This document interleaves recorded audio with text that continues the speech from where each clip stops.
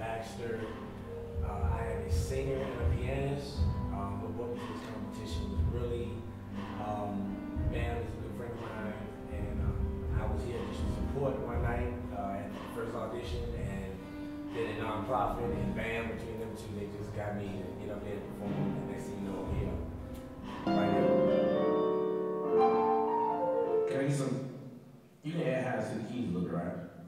Give me some some highs. Man, I this competition. I love BAM, and this is awesome. The experience has been amazing over the last three to four weeks. And so, at the end of the day, whether I win or lose, it's really not about that. The Big winners are going to be the nonprofit